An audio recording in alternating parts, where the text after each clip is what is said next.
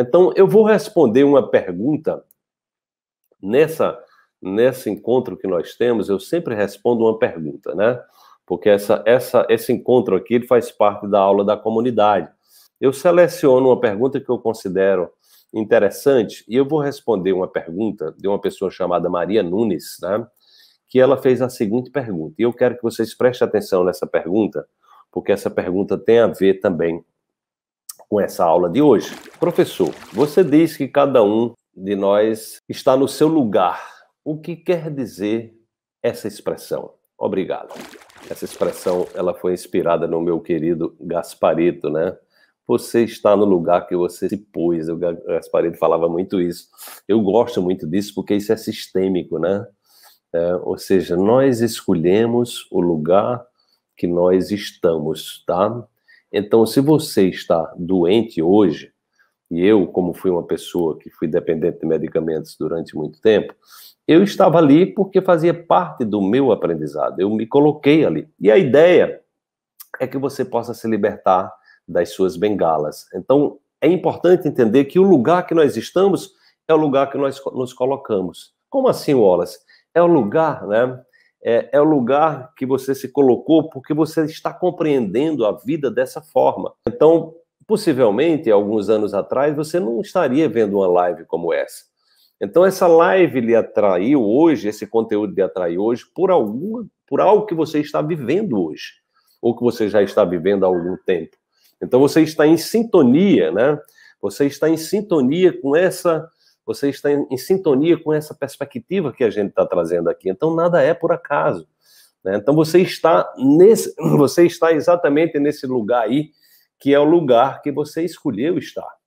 O mais importante é você perceber se esse lugar que você está hoje é o lugar que alegra o seu coração, é o lugar que aquece o seu coração, é o lugar que te conforta, é o lugar que você sente que está ali e estar nesse lugar te faz bem.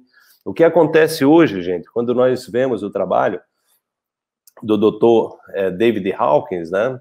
Ele mostra que 85% das pessoas da humanidade estão no patamar né, abaixo, né, abaixo de, é, de 200 Hz. Então, o que, que acontece? A maioria das pessoas estão na faixa de frequência onde está onde, onde, onde estão as doenças.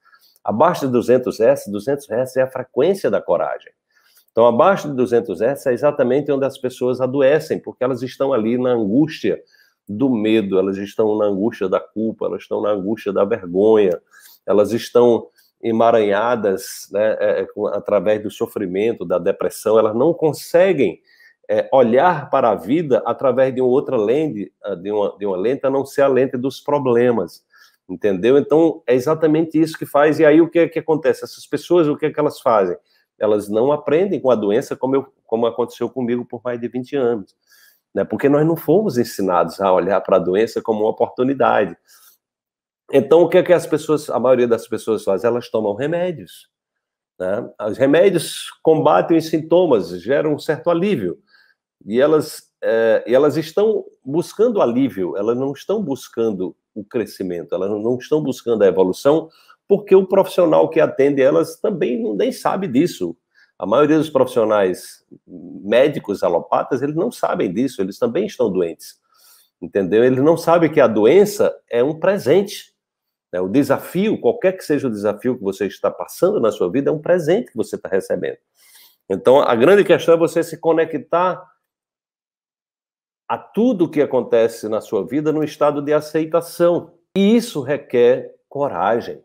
Isso requer coragem, isso requer a coragem de sair da zona do conforto, daquela, daquele lugar que você estava ali acostumado a olhar né, as coisas. Então, o lugar que você se encontra é o lugar que você se colocou e que você muitas vezes se acomodou ali, entendeu? Então, a grande questão é você perceber que você pode ir para um outro lugar né? E esse lugar é o seu lugar de honra, né? Esse lugar e esse lugar é um lugar que você vai construir. E para isso você tem que ter essa coragem. É, a frequência de 200 Hz é exatamente esse limiar que não vai, não vai nos levar. Né? Depois vem a frequência, é, nós vamos entrar na frequência da neutralidade, nós vamos entrar na frequência da disponibilidade, da aceitação, da razão, aí vem o amor, aí vem a alegria, vem o amor incondicional, vem a compaixão, vem a paz, vem o estado de iluminação, que é exatamente quando a gente aprende a parar de sofrer, a, a, a, aprende a, para de fabricar sofrimento. Então você precisa exatamente estar elevando a sua frequência. Então a doença é um convite, é um convite para evoluir.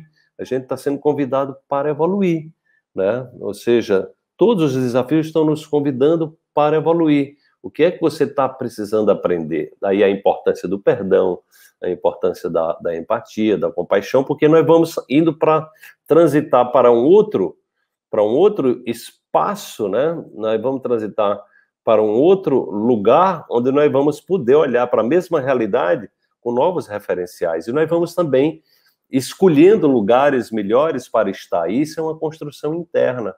Né? Isso é uma construção interna. Todo esse trabalho que eu faço é de trazer o conhecimento para que você faça isso, mas eu não posso fazer por você. Tem que ser uma opção sua, né? De investir no conhecimento para que você possa ir para que você possa ir para um novo lugar, tá certo?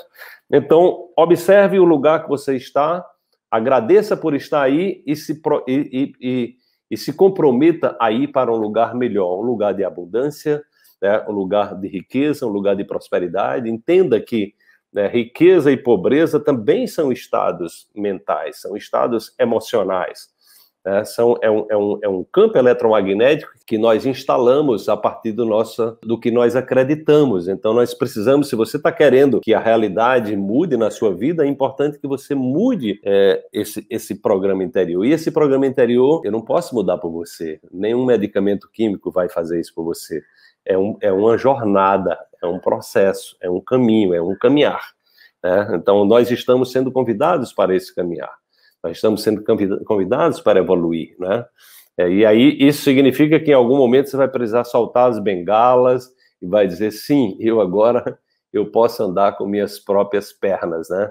Então isso é um processo, gente, é um processo lindo, processo de evolução, um processo de cura, é um processo lindo e ele não, ele nunca acontece isoladamente, porque uma pessoa que está uma pessoa que está se curando, né? Uma pessoa que está se curando, ela, ela também está curando o universo inteiro, ela está mudando a sua vibração, ela está, ela está oferecendo essa, ela está possibilitando né, que outras pessoas também acessem esse caminho. Né? Ela está dizendo, olha, isso é possível, eu consegui, né? Eu consegui. Se eu conseguir, é exatamente o que eu ensino isso, eu ensino exatamente isso. Se eu conseguir, você também pode conseguir, né?